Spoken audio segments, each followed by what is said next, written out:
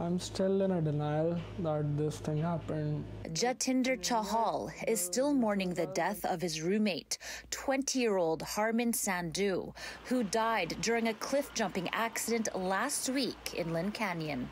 And he was a really nice guy, a kind person. He used to help everyone. He was a fun loving guy.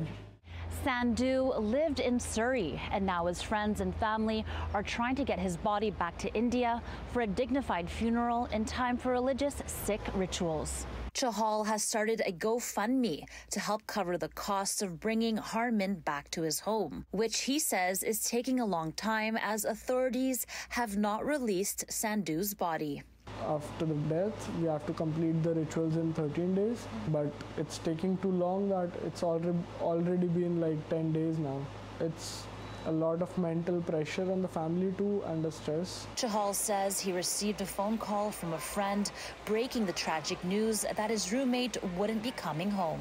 He was under the water for like 30 to 40 minutes already. I think the rescue team was a bit late or maybe they couldn't find a way to get him out. According to North Vancouver Fire Rescue, in the last five decades, there have been over 35 accidental deaths in Lynn Canyon, and over a dozen are related to cliff jumping and swimming. I think it was not supposed to end like this. In Surrey, Angela Bauer, City News.